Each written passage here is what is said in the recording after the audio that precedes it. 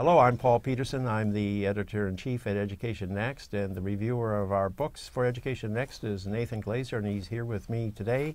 And we're going to talk about a new book out by E.D. Hirsch, uh, The Making of Americans. E.D. Hirsch has been very much a figure who has campaigned for content learning, not uh, learning skills, but learning real content in the mm -hmm. classroom. Mm -hmm. So, Nathan, uh, what would you say is the core idea of E.D. Hirsch's work over the years? Well, it's it's remarkable how uh, how important his idea has been. I think his book, his first book on cultural literacy, and then it's uh, all the subsequent work, but cultural literacy, I think, the most important education book of the second half of the 20th century, I would say, straightforward. Because of the shift from the notion of technique, and technique was certainly the notion of reading, you know, how you do it, whether you do it this way, whether you do it that way, and uh, to, to the notion of literacy, what are you reading? What is it saying? What is it trying to say? What does it mean? And the notion that it needs a background of knowledge a background of knowledge that probably middle class kids can get a lot of in the home or so on, and uh, and working class kids will get a very different one and one that isn't very helpful for their education, etc., etc. But that background of knowledge is crucial uh, to understand what it is you're reading. What is Achilles' heel? Uh, you know, and, and, people could attack him for that. But he then made a list. You have to know these things to know what you're reading about just as if you were reading, uh, you know, uh, something on a uh, cricket match, you'd have to know what cricket is and what the rules are before you made any sense of it. Well, that's why I can never understand a single article on cricket. And I've never been able to, too. And uh, foreigners can't understand articles on baseball. The rules are different so this is terribly important, and this led him into a movement. I don't know if he was intending a movement when he made this point, which was really took on the whole reading establishment, so to speak, in their arguments of whether it should be phonics or uh, whole word, because it was a different story. This is, okay, so you've spelled it out, you figured it out, you've seen the whole word. What's it saying to you? and then he moved on from that to a movement. You know, his his uh, his uh, core groups, his schools of based, based on a core curriculum. He made lists for each grade. An amazing job. Okay, I'm in on this. Let's tell. I'm going to tell you what you need, what background you need in order to understand what but you're reading. But he's been very poorly received yes. by people in schools of education. Why right. is he so unpopular? That that is mystifying to me, since what he does is so important.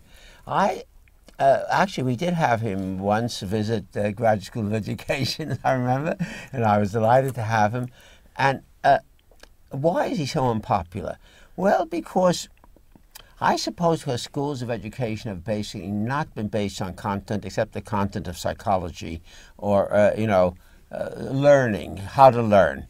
And, and the whole notion of a world of content, which includes uh, you know, uh, which includes literature, uh, science, uh, public affairs, is something they, they can't seem to manage. You know, they you know it doesn't. It's not their style. So what are they going to do with it?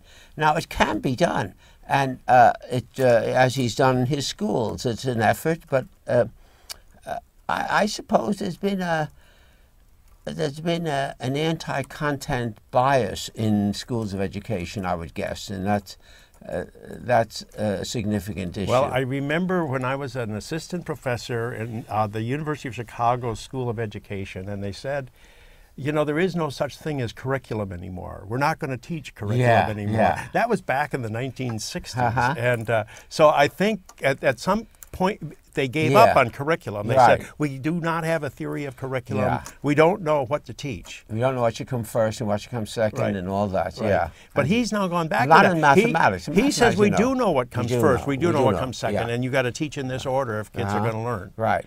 Uh, now, now what's the new book? This is the called The Making is, of America. He's really, he's, uh, well, after cultural literacy, there are a few more and uh, similar arguments. He does keep up with school research remarkably, and research in the field of education, uh, as in the field of psychology, even though he's an English professor, and I suppose still is. And this new book, he tries to extend the idea of literacy and cultural literacy to the field of citizenship and uh, uh, uh, being a citizen in public action. Now, this is a kind of challenging task. Uh, you commented in a discussion of a book we just had that the uh, the least popular course in high school is is uh, is a physical education, but I would think maybe civics is, matches it. In other words, this has been a this has been a very unsuccessful course, and uh, well, he hopes to make it more interesting, more relevant, more valid. In other words, to really, uh, you might say the. Uh, uh, well, what's the content he wants in civics? Well, the, the, he, he, wants uh, I suppose he wants less of a content of technique and, uh, you know, who is your congressman and who is your alderman, and, how, and a congress of uh, a content of rules and the mechanisms, which are very important in politics, but nevertheless one thing, and more a content of uh, uh history and a significant, uh, uh, significant event and uh, uh, more content, really more like American history. So maybe is he trying to teach kids what government does instead of how to influence the government? I think that's one factor. Yes, what uh, uh you know, uh, it's uh, yes, away from. Very similar to what he was arguing in cultural literacy, away from methods and into more, more significant objectives. And I think it's a, in other words, an objective which can engage people more. You know, how do we how do we get to this point, and so on. Uh, and uh, it's a now, of course, having set out his thesis, uh, how to you know there was so much hard work in producing the curriculum, so to speak, the background materials necessary for cultural literacy. How you spell this out is another hard job and uh, uh, I suspect he's probably, if he has enough energy and uh, life lasts long enough, he'll get into it. So we may hear some more from E.D. Hirsch, and yes. in the meantime, there's uh, another worthy book out there. So thank you very much, Nathan.